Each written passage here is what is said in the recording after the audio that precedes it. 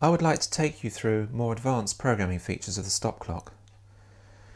The base exposure sets the initial print time and all the programming sequences are based on this initial time. But that doesn't have to be so. If for instance in this main exposure of 16 seconds you wish to dodge for 8 seconds, there's a way of achieving this. So first of all you would set the time of 8 seconds and you go into your programming mode and then you would increase the time by 12 steps, which is a stop, which brings you to a burn-in time of 8 seconds. And any subsequent manipulations you want based on 16 seconds, not the original 8. So that you've got 8 as a base, you have 8 as the burn-in, and to tell it that you want all your manipulations based on 16 seconds, you press the compensate button. The word base just flips up on the display and is indicated here. If you want to cancel that, you turn it off the other way. It says burn or it says base.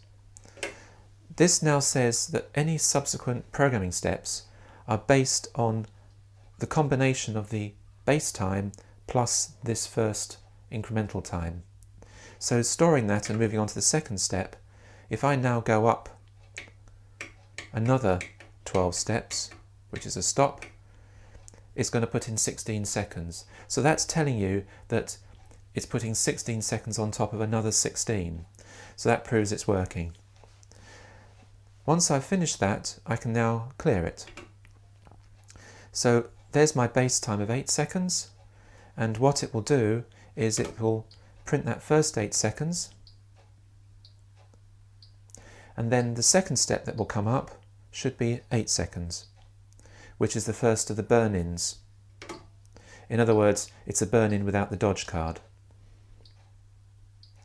And then the next one should be 16 seconds, which is the last of the steps. And you notice that the indicator that base has come off there, and so it will now do for 16 seconds. And that's a very simple way of doing dodging and burning, because basically a dodge is a burn-in with a hole. I'm going to stop that.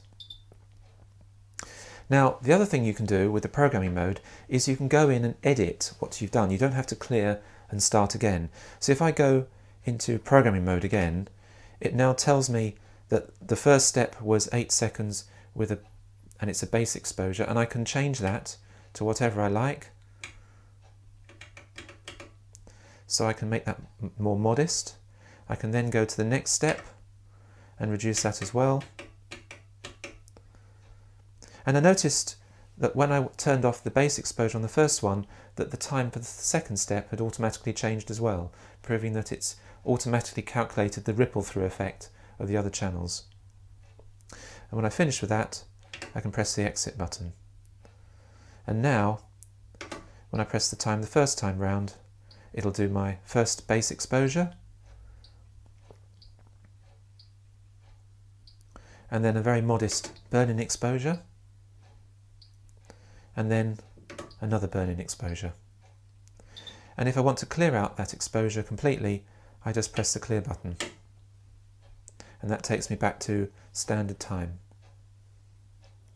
Another nice little feature of the programming function is when you do do a program and you're experimenting, when you start playing around with different amounts of additive exposure, you can actually print from within the programming function. And that helps you to get the print just the way you want it. And then when you can confirm that step, you can then move on to the next burn-in and again you can play with that one.